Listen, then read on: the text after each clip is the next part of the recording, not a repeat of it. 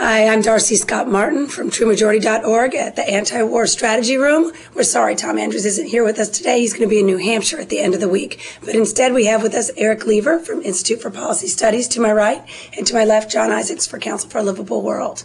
We're here to talk once again about what's going on uh, in Iraq and in Washington, D.C. as it relates to Iraq.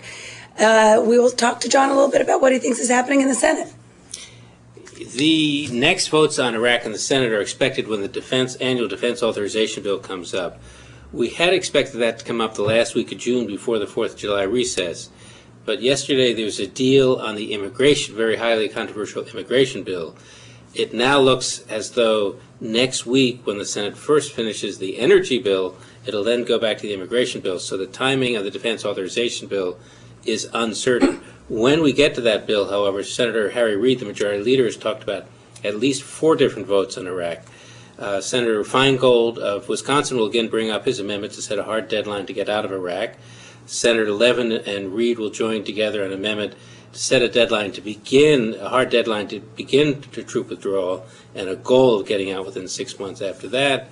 Uh, we expect to vote. Also, Senator Jim Webb will offer an amendment on setting standards for our military, which the standards which have suffered because of the war in Iraq.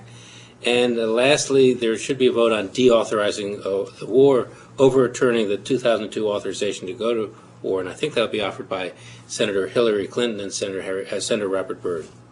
Those are certainly far more brave moves than are happening in the House right now, where um, there's a lot less activity. Eric, do you have much knowledge about what's going to happen before September when there's been a promised vote?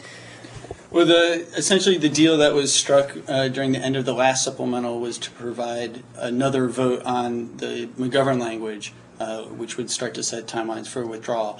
But we're not expecting that to actually come through until September. So it's very you know unclear of you know what sort of actions mm-hmm. are going to be promised in the meanwhile. I mean, the Pentagon report that just came out earlier, uh, I guess two days ago now, which talked about what the readiness levels were, um, actually what was going on on the ground, should provide some fodder for you know members to have hearings and, and try to continue this discussion. But essentially, you know, the feeling that I've gotten is essentially everybody breathed a sigh of relief once the you know the supplemental had passed and are now not interested in, in taking the debate mm-hmm. any further. I noticed that it's now referred to as the Obey McGovern bill, which I thought was an interesting move. Dave Obey's thrown his loyalties to that wording, and I know there's talk of an attempt to find something that could be voted on that would bring those more um, disheartened Republicans who've started to talk negatively about Iraq to the floor to have some kind of vote in July, but the strategy yet seems unclear. So that may never even happen, and September might be our next bite at the apple.